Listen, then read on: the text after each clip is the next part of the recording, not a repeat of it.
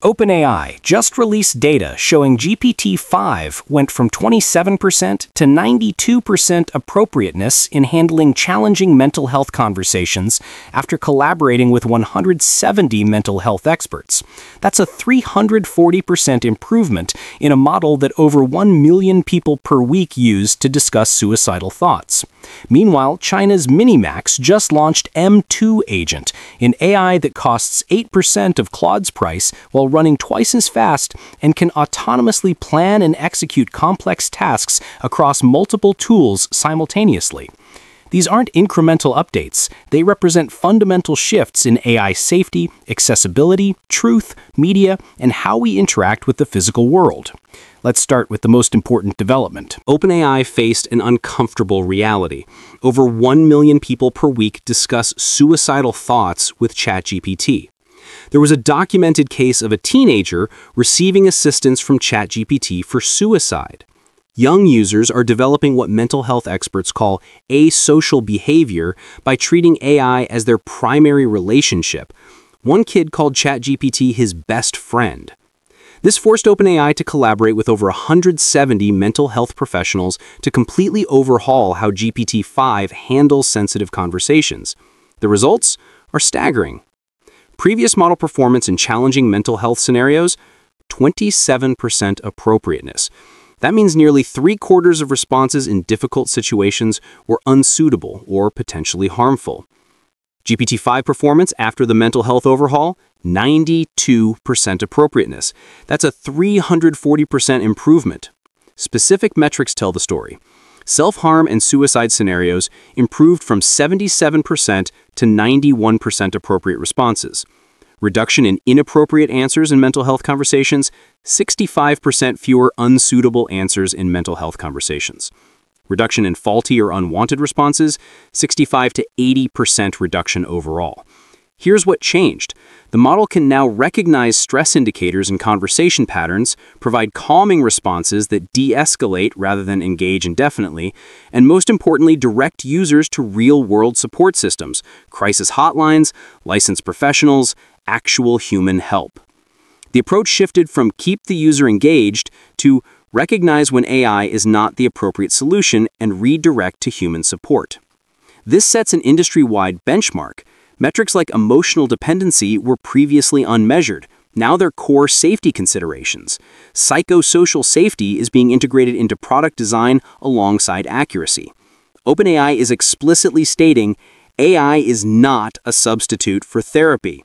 The goal is to guide vulnerable users toward human support, not replace it. For users in crisis, this dramatically reduces the risk of AI responses reinforcing harmful patterns or providing dangerous guidance. The 91% appropriateness rate in suicide scenarios is still not 100%, which means there's room for catastrophic failures. But it's substantially safer than the 77% baseline. For the AI industry, this establishes safety standards that other companies will be pressured to match. If OpenAI is measuring emotional dependency and psychosocial risks, competitors like Anthropic, Google, and others need equivalent frameworks or face ethical criticism. The limitation AI can now better recognize when it shouldn't help, but it's still not capable of providing actual therapeutic intervention. It's a triage system, not treatment. Within six months, we'll see industry-wide adoption of similar safety protocols. The companies that don't implement comparable measures will face regulatory pressure and potential liability issues. This becomes table stakes for conversational AI.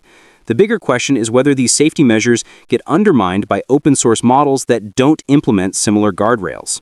Minimax, a China-based AI company, just launched M2, an AI agent specifically designed for autonomous task execution.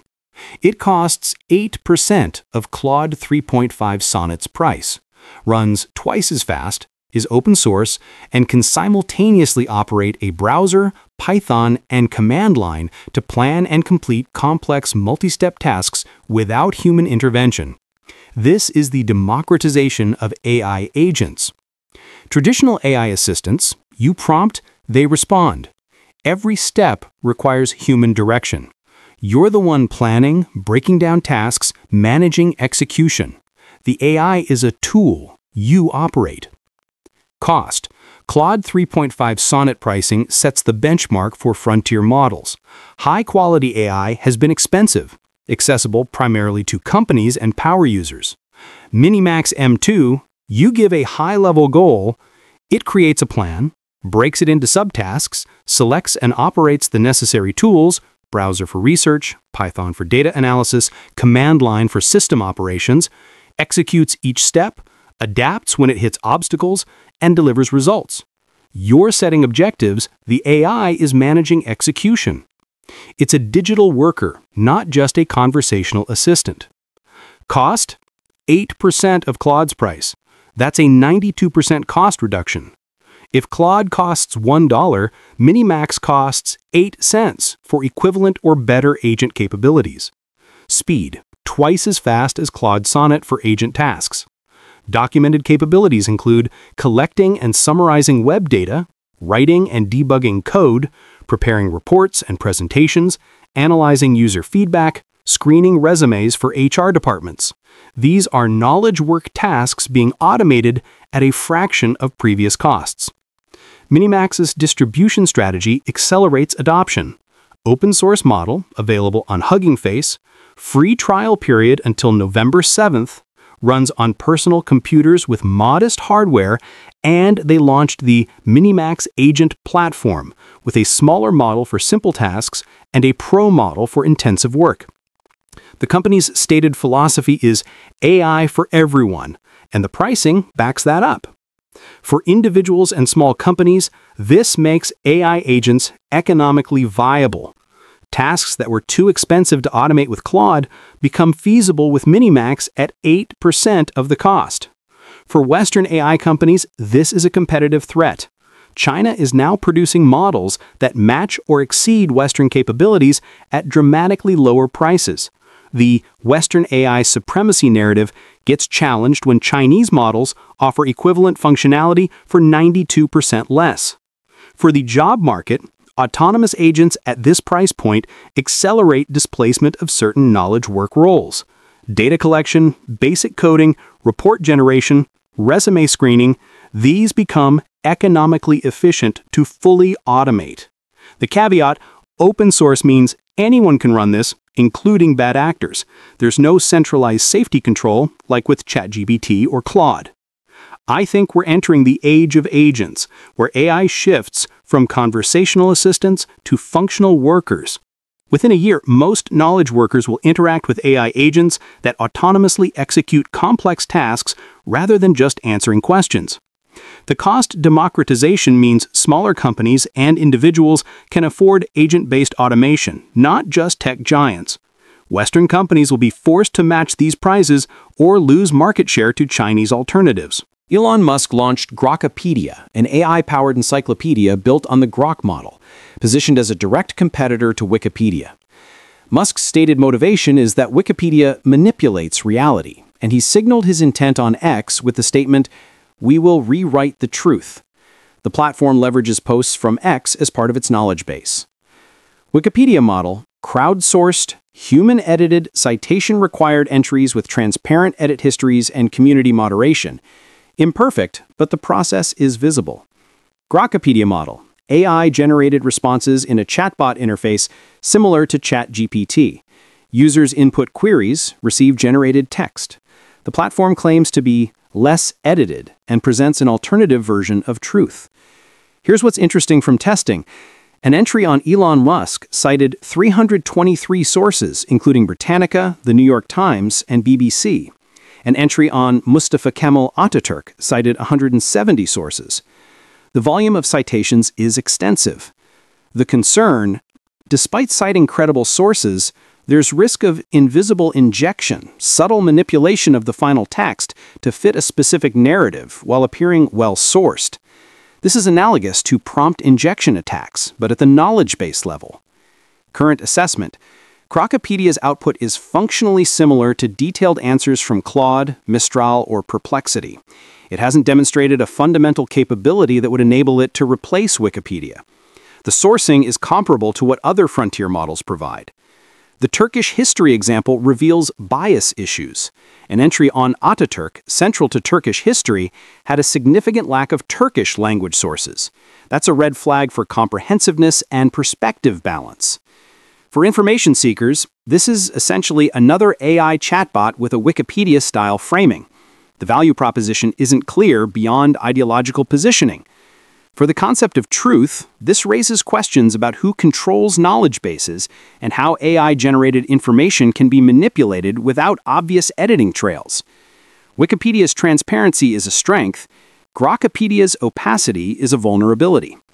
Elon Musk's influence over the platform and its integration with Xdata creates clear conflict of interest concerns. Grokipedia will remain a niche tool used primarily by Musk's supporters rather than becoming a genuine Wikipedia alternative. Without transparent sourcing methodology and community verification, it lacks the trust mechanisms that make Wikipedia credible despite its flaws. I'd give it a year before adoption plateaus. Odyssey 2 is an AI model that generates real-time interactive video at 20 frames per second. This isn't pre-rendered content you explore, it's video that changes based on your live text commands while it's playing. Type, let the sun start to set, camera turn right, or waves should speed up, and the AI immediately regenerates the scene to match. You shift from viewer to director. Traditional AI video, you prompt, the model generates, you wait minutes for processing, you review the result, you iterate with new prompts. It's batch processing.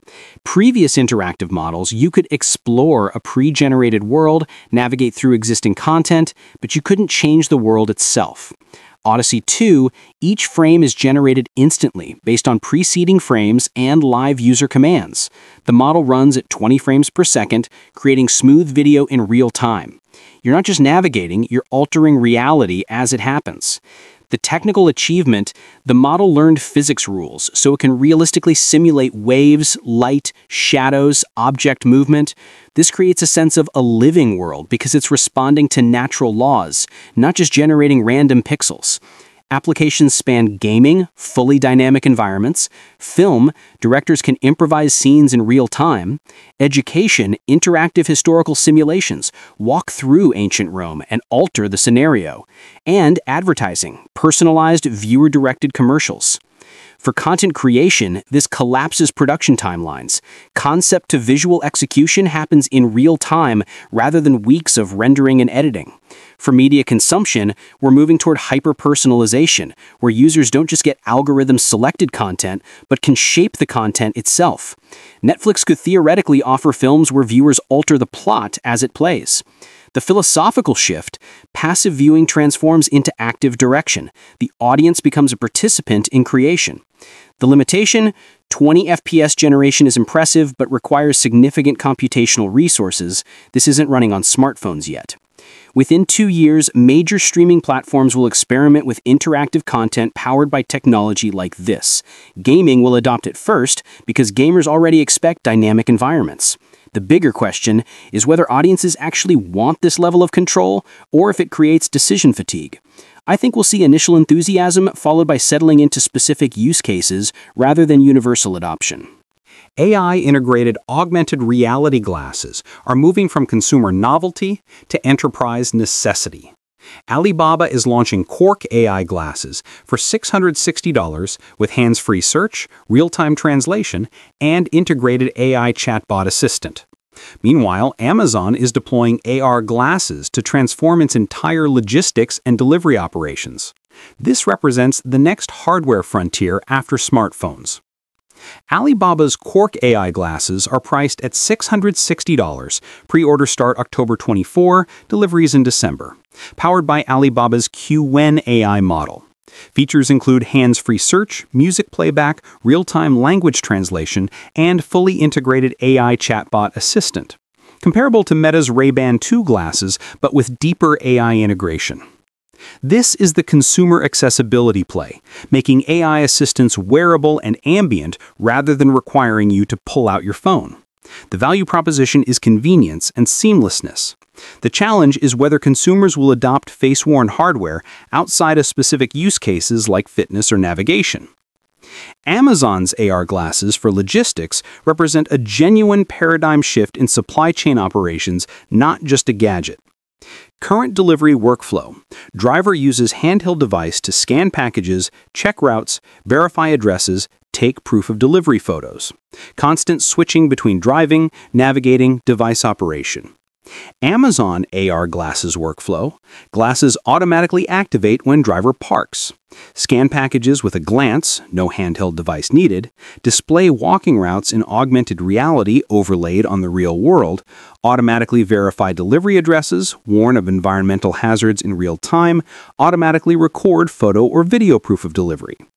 Future planned capabilities detect incorrectly delivered packages before leaving the truck, perceive obstacles like pets or low light conditions, provide real time guidance to drivers through complex situations.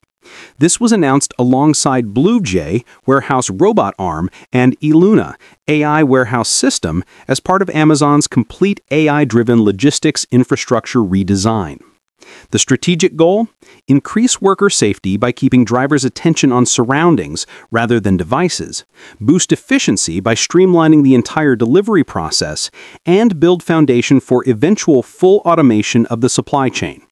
For logistics and supply chain industries, this sets a new standard. Competitors will be forced to adopt similar technology or accept lower efficiency.